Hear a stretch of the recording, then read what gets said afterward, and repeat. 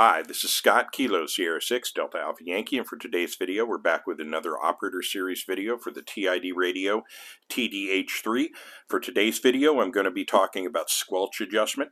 Um, squelch adjustment is something that uh, you don't have to do that often but in the initial setup of the radio and getting to learn the radio is something you're going to you're going to want to tweak and play with a little bit and essentially all squelch is is basically a filter that's applied to the radio to filter out unwanted um, noise and unwanted signals. So you can apply the, the filter from a level of zero all the way up to nine, with zero being no squelch applied whatsoever.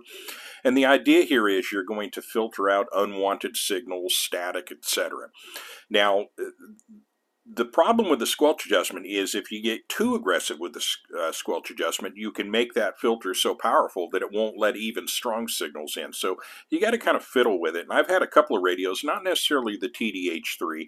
It doesn't suffer from this problem. But I had uh, some radios in the past that I thought were completely deaf. Uh, I would put one radio next to another radio, and one radio is hearing the signal, and this other one is not picking up anything at all. And in some of those cases, that can just be because the squelch level is too high. So it's keeping out even those strong signals from, from coming through. So let's get into the squelch adjustment. I'll talk a little bit more about that. Um, so to get into squelch, you're just simply going to press your blue button to get into your menu. You're going to navigate to item number one and you're going to see squelch. And the factory default setting is 5. That's 5 out of from 0 to 9, so it's right there in the middle.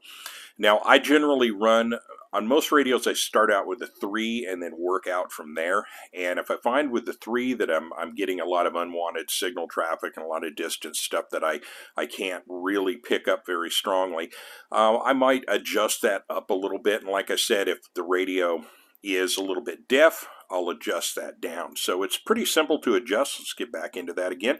So once we get to our, our selection, we press the blue button again.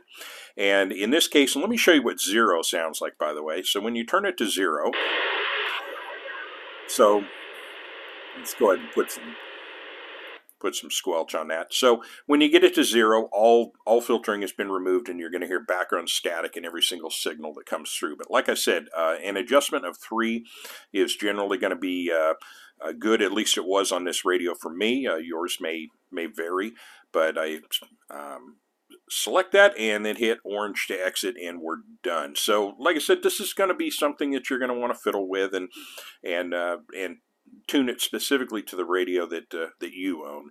So that's it. That's uh, that's all there is to really talk about when it comes to squelch. So with that, I'll thank you for watching and or listening. This is Scott Kilo Sierra Six Delta Alpha Yankee from Visalia, California. Have a wonderful day.